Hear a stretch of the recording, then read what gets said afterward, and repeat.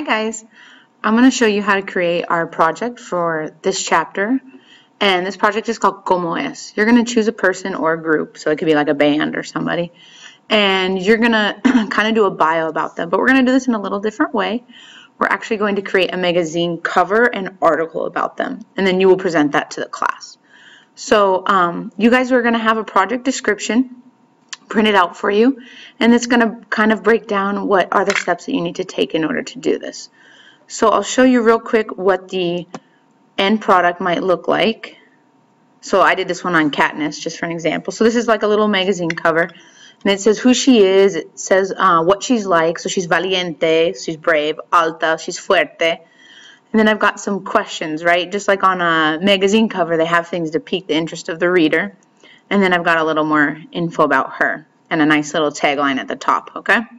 So what that's going to look like for us is you're going to choose a person or group and on your magazine cover you have to have these things. You have to have their photo, so Google Images.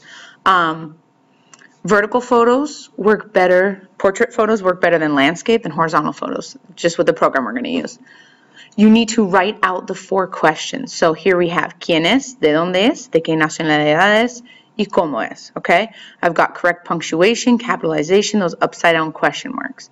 If you are not sure how to type those characters, two real simple ways, go to my YouTube channel, watch my video on it, or just Google Spanish characters and copy and paste those, okay? That's probably the easiest way. You need to have three adjectives that describe them. You're welcome to use new adjectives that we haven't seen in the book. Just make sure you're applying concordancia and make sure if you're using a dictionary that you're using an adjective and not a noun, okay?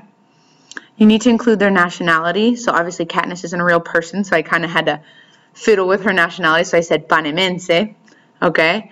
And then you need to also include where they're from. So that could be a city or a region. So I put that she was from Distrito 12, right? She's from District 12. And then you also need to tell me who they are besides their name. So are they an actor? Are they, I put that she was the girl on fire, La Chica en Llamas, okay? But tell me what they're, who they are. Are they an actor? Are they a music band? And if you need help with that, that's a good idea to ask me, okay? Obviously, you're going to do all this in Spanish. Then, let's look at how to create that magazine cover. So you're going to go to this website, bighugelabs.com, okay? And scroll down a little bit and click on magazine cover.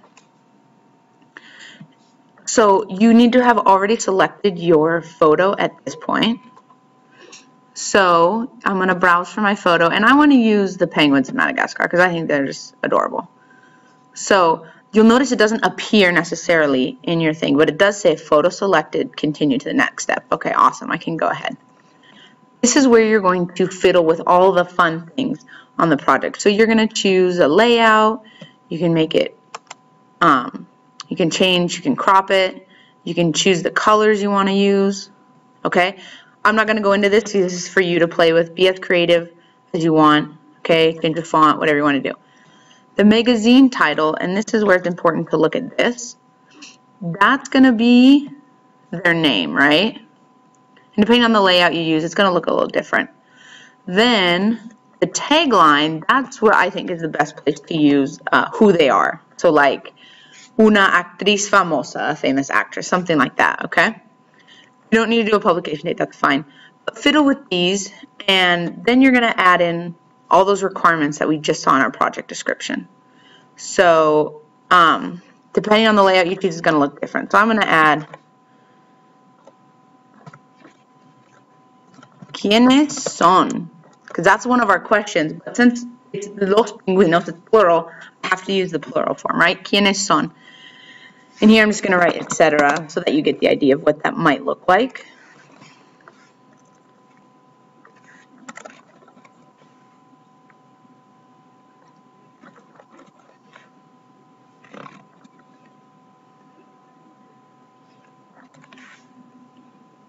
Okay.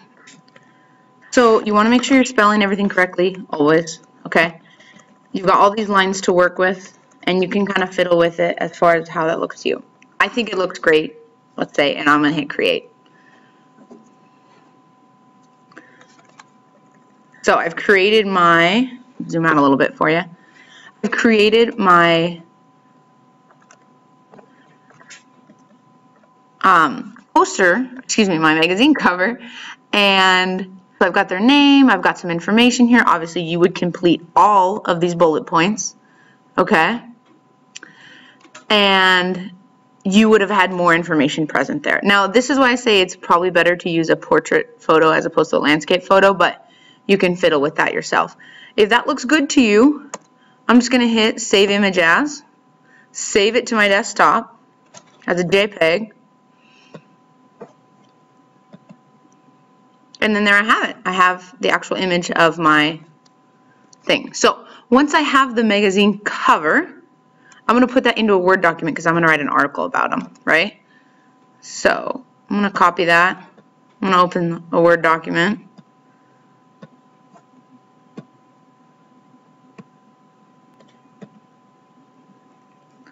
And I'm just going to paste it in there.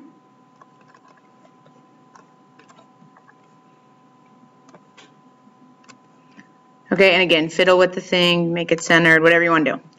And then underneath is where I'm going to type an article about them. So what are the requirements for the article you have to have? So it's going to be a very brief paragraph, okay?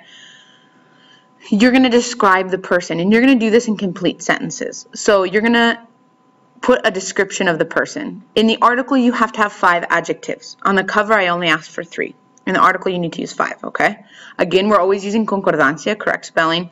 You need to answer the four questions. So I said, quiénes o quiénes son in this case. So I need to say son los pingüinos de Madagascar. Okay, I could say they're uh, pilots, son pilotos, right? Because they fly a little airplane. Then I'm going to answer all four of those questions. I have, I'm going to include a photo of them, which we've done with our magazine cover. Okay.